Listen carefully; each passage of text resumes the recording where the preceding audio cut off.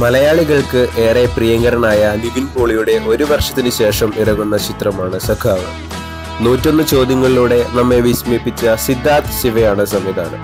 കോമഡിക്ക് പ്രാധാന്യം നൽകി ഇറങ്ങിയ ട്രെയിലർ. ശരാശരിയിൽ ഒതുങ്ങിയപ്പോൾ റിലീസിന് മുമ്പ് പുറത്തിറങ്ങിയ രണ്ട് ഗാനങ്ങളും സംവിധായകനിൽ ഉള്ള വിശ്വാസവും ചിത്രം മുന്നോട്ട് വയ്ക്കുന്ന പ്രമേയവും ആദ്യ ദിനം തന്നെ പടം കാണാൻ നമ്മെ പ്രേരിപ്പിച്ചു.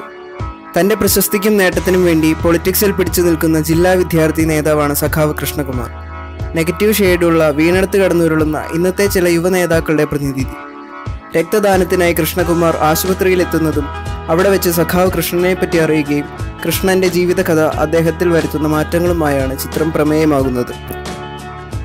ചിലയിടത്ത് തിരക്കഥാകൃത്ത് ഒരു ഡയലോഗിൽ തന്നെ ഒരുപാട് പറയാൻ ശ്രമിച്ചത് പറയേണ്ട കാര്യം പൂർണതയിൽ എത്തിച്ചിട്ടില്ല. ഒരു സമ്പൂർണ നന്മ മരമായി സഖാവ് കൃഷ്ണനെ അവതരിപ്പിച്ചത് ചിലർക്ക് ക്ലീശയായി തോന്നിയേക്കാം. എന്നാൽ അങ്ങനെയുള്ള ആളുകളാണല്ലോ നമ്മുടെ കൂടുതൽ വേണ്ടതും. അതുകൊണ്ട് തന്നെ സഖാവ് കൃഷ്ണന്റെ കഥാപാത്ര രൂപീകരണം എനിക്ക് മികച്ചതായി തോന്നി. മെക്സിക്കൻ അപാരതയിൽ ന്യൂട്രൽ വ്യൂവറിന് കിട്ടാതെ പോയ ഒരു തനത് കമ്മ്യൂണിസ്റ്റ് വികാരം ഇതിൽ നന്നായി തന്നെ ലഭിക്കുന്നുണ്ട്. കേവലം കമ്മ്യൂണിസ്റ്റ് ബ്രാൻഡ് ഉപയോഗിച്ചിട്ടുള്ള സിനിമയല്ല സഖാവ്. എന്തുകൊണ്ട് കമ്മ്യൂണിസം ഇത്ര പ്രശസ്തി ആർജിച്ചു എന്ന് ഈ സിനിമ മനസ്സിലാക്കി തരുന്നു. കൊമേഴ്ഷ്യൽ സിനിമയുടെ സാധ്യതയ്ക്ക് ഒപ്പം തന്നെ സാമൂഹിക പ്രതിബദ്ധതയുള്ള ഒരു കഥ കൂടി പറയാൻ ആയതിൽ അണിയറ പ്രവർത്തകർക്ക് അഭിമാനിക്കാം. നിവിന്റെ കൃഷ്ണകുമാറിന്റെയും സുഹൃത്തായി അഭിനയിച്ച അൽത്താഫിന്റെയും കോമഡീസ് കുറെ ചിരിപ്പിച്ചപ്പോൾ ചിലത് കല്ലുകടിയായി. നിവിൻ പോളി രണ്ട് വേഷങ്ങളിലായി നാല് ഗെറ്റപ്പുകൾ തന്നെ ചെയ്തു. അഭിനയത്തിന്റെ കാര്യത്തിൽ അദ്ദേഹത്തിന്റെ കരിയർ ബെസ്റ്റ് റോൾ തന്നെ ഇത്. എന്നാലും പ്രായമുള്ള ഗെറ്റപ്പിൽ ഡബ്ബിംഗ് കുറച്ചുകൂടി നന്നാക്കാമായിരുന്നു. ഐശ്വര്യ രാജേഷ് നന്നായി തന്നെ പ്രാധാന്യമുള്ള റോൾ കൈകാര്യം ചെയ്തു.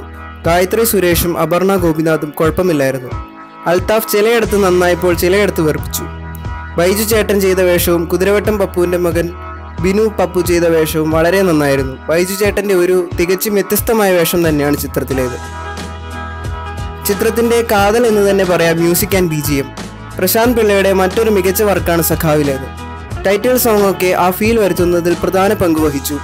ഓരോ ഗാനങ്ങളും സന്ദർഭത്തിനനുസരിച്ച് വ്യത്യസ്തമാക്കുന്നതിൽ പ്രശാന്ത് പിള്ള മികച്ചു നിൽക്കുന്നു.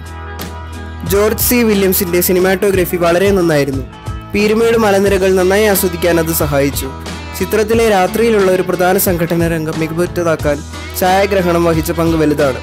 എഡിറ്റിംഗ് എബോ ആവറേജ് എന്നേ പറയാൻ പറ്റൂ. ഫ്ലാഷ് ബാക്ക് സീനുകളിൽ എഡിറ്റിംഗ് നന്നായിരുന്നു. പഴയ കാലഘട്ടം നന്നായി കാണിക്കാൻ സംവിധായകന് സാധിച്ചിട്ടുണ്ട്. തീപ്പൊരി സംഭാഷണങ്ങൾ കുറെയൊക്കെ നന്നായി തോന്നി. നീതിക്ക് വേണ്ടി പോരാടുകയും സാധാരണക്കാർക്ക് കൈത്താങ്ങാവുകയും തങ്ങളുടെ ആരോഗ്യം പോലും വകവയ്ക്കാതെ അവരുടെ കൂടെ നിന്ന് പോരാടുകയും ചെയ്യുന്ന അനേകം സഖാക്കന്മാർ നമുക്ക് ചുറ്റുമുണ്ട്. ഈ സഖാക്കന്മാർക്കുള്ള ഒരു ആദരവായിട്ട് ഈ ചിത്രത്തെ കാണാൻ സാധിക്കും. ജനങ്ങളിലേക്ക് ഇറങ്ങിച്ചെന്ന് അവരുടെ കൂടെ പട നയിക്കേണ്ടവരാണ് യഥാർത്ഥ സഖാക്കൾ. അവരെ നാട്ടുകാർ ആദരവോടെ തന്നെ സഖാവേ എന്ന് വിളിക്കും. രാഷ്ട്രീയം എന്നാൽ വെറും തമാശയല്ല ജനസേവനമാണ്. രാഷ്ട്രീയത്തിന്റെ പ്രഥമ മാനദണ്ഡം. പാർട്ടിയിൽ ഒന്നുമില്ലെങ്കിലും നല്ല മനുഷ്യനായി മറ്റുള്ളവർക്ക് വേണ്ടി കൂടി ജീവിക്കുക എന്നൊരു ഉൾസന്ദേശം കൂടി പറയുന്നുണ്ട് ചിത്രം. ഒരു നല്ല ചിത്രം തന്നെയാണ് സഖാവ്. ഒരുപാട് മൂല്യമുള്ള സന്ദേശങ്ങൾ ചിത്രം നൽകുന്നുണ്ട്. ചിത്രം സ്വീകരിച്ച ആഖ്യാന ശൈലിയും പശ്ചാത്തല സംഗീതവും ചിത്രത്തിന്റെ മാറ്റുകൂട്ടുന്നു.